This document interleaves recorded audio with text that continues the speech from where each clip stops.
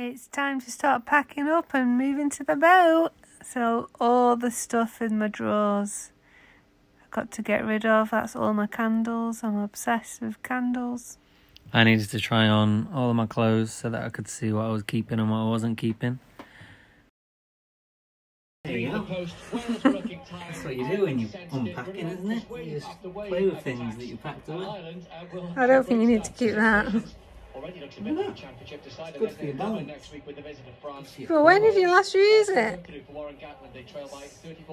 Last year. the Premier 15's women are the town to Britain. Connors Key Farm. Okay, so I started with what I thought was going to be the easiest room. So it's not even a massive room, it's small.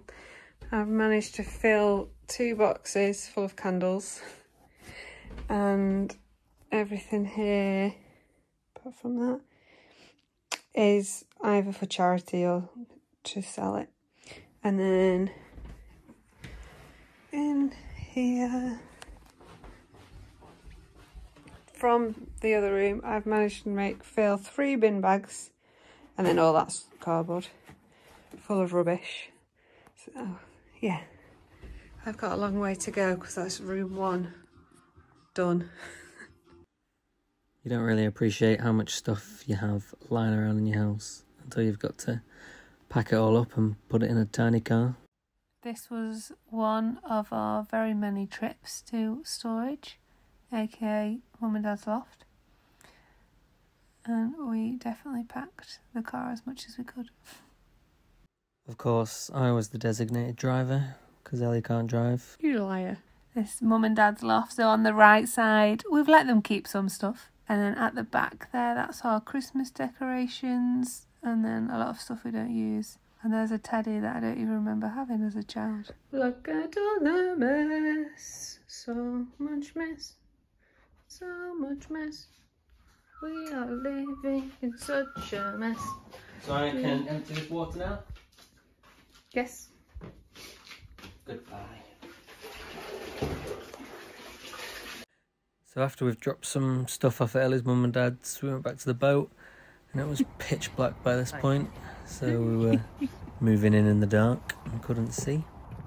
And that was the first of many trips to the boat.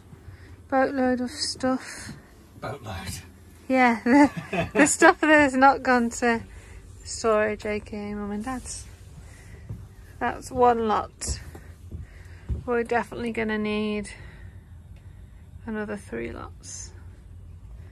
Let's get the fire on, it's dark. Feeling very overwhelmed.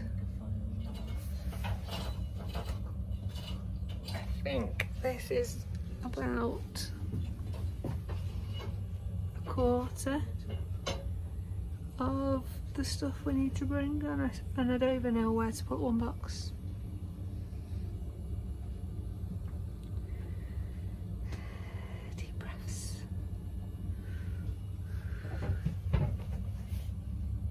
But I'll put, put the post box away. After Ellie's little moment, we carried on packing. We haven't robbed someone's car, I don't know whose that And is. then we started on clothes. So I was deciding what clothes I wanted on the boat, what clothes I didn't need for a year, or I only need for like some holidays and things. Um, and I actually ended up having to leave a lot more clothes than I wanted to leave. And that was it. The last time that we were in the house for 12 months.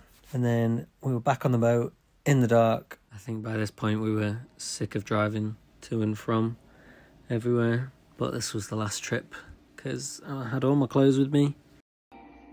First night on the boat, I don't know you were going to record it. watching Lord of the Rings. In bed. With a hot chocolate. Yeah. Bye.